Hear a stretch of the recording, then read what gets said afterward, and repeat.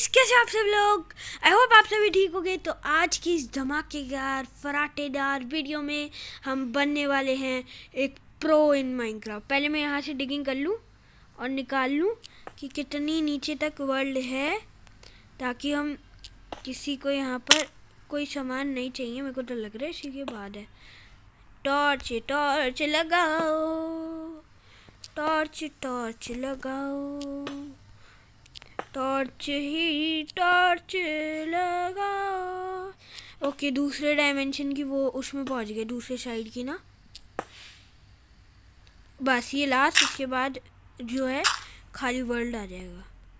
इसलिए मैं कोई दिक्कत नहीं कर रहा। ये ना आखिरी हिस्सा होने वाला है, क्योंकि डर्ट भी आ गई है। तो ये काला काला बहुत है कॉबल स्टोन इस वजह से ना दिख नहीं रहा है। बेड रॉक आ गई, देखो। बेड रॉक आ गई गाइस बेड रॉक के नीचे होता है। हमेशा बेड रॉक के नीचे होता है। फ़िलहाल ये क्या है? कोई और वो रहे ये। चलते नीचे।